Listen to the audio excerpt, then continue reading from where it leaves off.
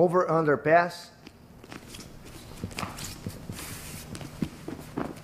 We will start in the open guard position and from here we will go, okay?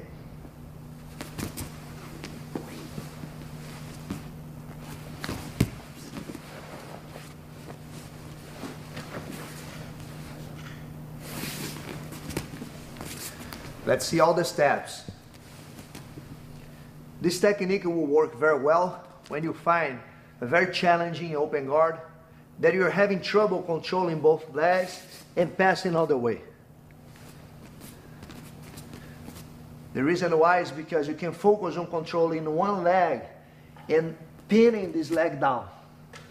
If you do so, almost for sure he will face you a little bit, start getting ready to push you with his hands and to make a shield with his free leg.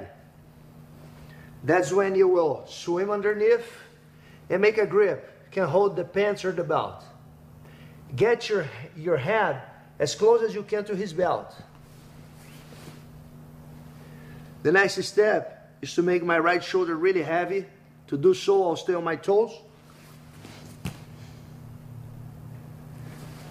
360 aqui. I will keep my grips and I will walk, making sure my left leg is out. Not on his guard anymore. I am almost inside mount control already, but I am keeping both grips. Vira 360. Bate, bate.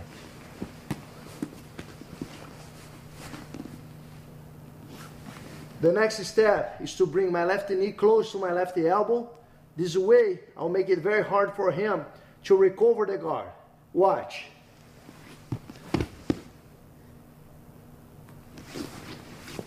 If you fail to accomplish that step, he might escape his hip, slide that knee underneath.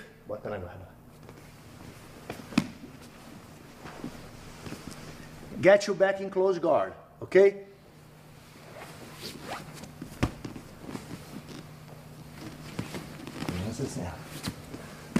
With my left elbow close to my left knee, he cannot recover the guard. Just now, I'll release my right hand and control his neck. Right away, I'll take my left arm out from his legs, get underneath his elbow, and chest to chest. Once here, to establish a good side mount control, you should cup your hands together. Okay, one more time.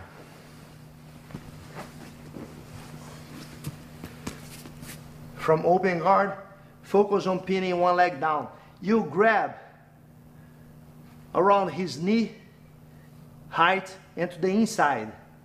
Extend your arm, put all your body weight on his leg. Then he will face, prepare the shield, you swim underneath. Grab either the belt or the pants with your left hand. Get your head close enough to his belt so you can go on your toes and drive your shoulder heavy.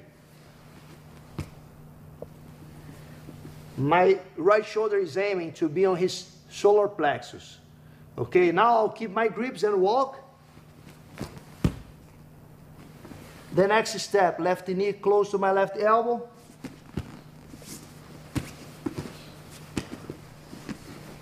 And just then, I'll release my right hand to control the neck. Next step, my left hand out of his legs, underneath the elbow, cupping my hands chest to chest, and establishing a tight side mount control.